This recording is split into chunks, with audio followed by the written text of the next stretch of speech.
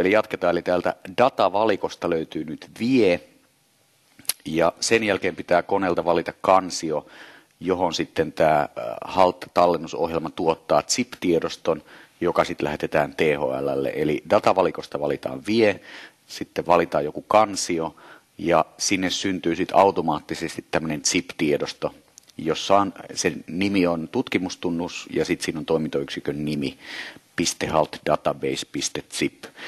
Ja tässä on nyt vain tämmöinen testitiedoston nimi. Ja tuon tiedoston nimeä nyt ei saa sitten muuttaa, jotta kaikki menee oikein. Ja sen voi lähettää THLään sähköpostilla tähän ECDC PPS-osoitteeseen tai sitten tämmöisellä toimita-palvelulla, josta mulla on toinen kuva tässä. Tämä toimita-palvelu on tämmöinen web-palvelu, turvallinen, jossa avataan tämmöinen web-osoite ja kirjoitetaan sinne käyttäjätunnus ja salasana, jonka saa tuolta yhteistyötilasta, laitetaan se sinne. Ja kun sen on avannut ja kirjautunut, niin tulee tämmöinen lyhyt lomake, johon kirjoitetaan oma nimi, puhelinnumero ja sähköpostiosoite.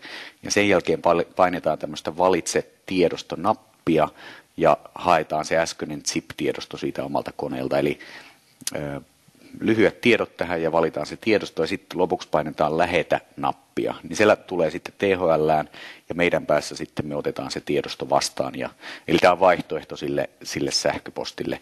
Ja sen lisäksi kun olette tässä lähettänyt niin laittakaa tuonne ECDC PPS-osoitteeseen vaan sähköposti, että tiedosto on lähetetty.